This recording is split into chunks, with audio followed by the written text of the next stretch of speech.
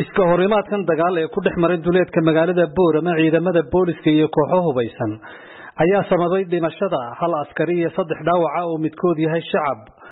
Oo nimankii dambiilayaasha ahaaya iyo saddex barqaba.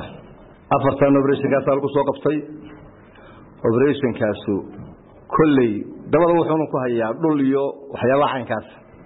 Kadib markii la soo sheegay ciidankaana ciidankaa ku baxay khasaaraha dhacayna intaasuu noqday. Howlgalkaasuna wuu socdaa wixiisi ka soo kordhana. Waa lagu jira intii baxsatee dib ayaanu idinka soo sheegi doonaa. Meel cidlaaba ahayd meesha la isku haysto khasaare kale moogin annagu dhanka kalena xildhibaan axmed maxamed cadoosh oo ka mida golaha deegaanka iyo degmada boorama ayaa isagu ku eedeeyey dhacdadan mas'uuliyiinta maamulka oo muranka dhulkan waxba ka qaban waayey. Guud ahaan waynu u ducaynaynaa marka hore inta dhaawacantay. Intaa ku dhimantayna waxaanu leenahay allah u naxariisto.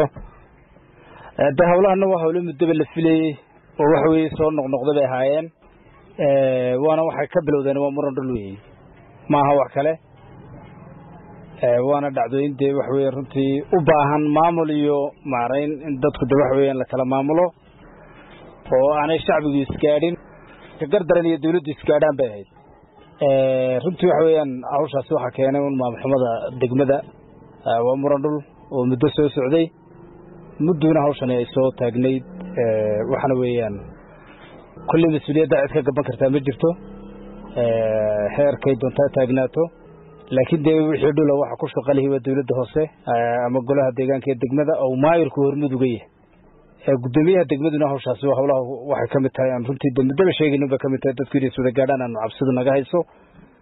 Una baanaynu sida ugu dhaqsaha badan le ugu degdega badan leh aanu uga hawlgalna haddii la idhahdo shaqadana uga gudano waana hawlaha jira waana dhibaatada taalle ee degmada maanta haysataa ayuun bayna ka mid tahay hawshaa maanta timidday aad iyo aadna waanu uga xunaa runtii.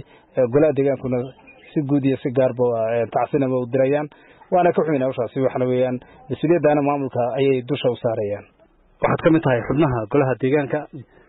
Meeshan maanta dhimashada iyo dhaawacu ka dhacayna. Waa meel u muuqata magaaladii muddo badanna inuu waxaan soo jireen yaad carabka ku dhufatay ka golo deegaan ahaan maxaad arrintan xal uga gaadhi weydeen maadaama ay yihiin arrimaha idin khuseeya.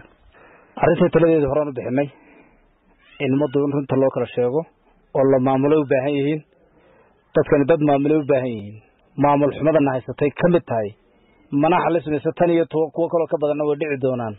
Waa arrimaha xanuunka nagu haya waa maamul xumadana haysataa waa dhibaatooyinka jira ka mid tahay waana murankaa dhulkee soo jiitamay muddada arrimaha muranka dhulka ee ku soo noqnoqda guud ahaan deegaanada somalilan ayaa intooda badan la sheegaa inay sababaan isku dhacyadooda.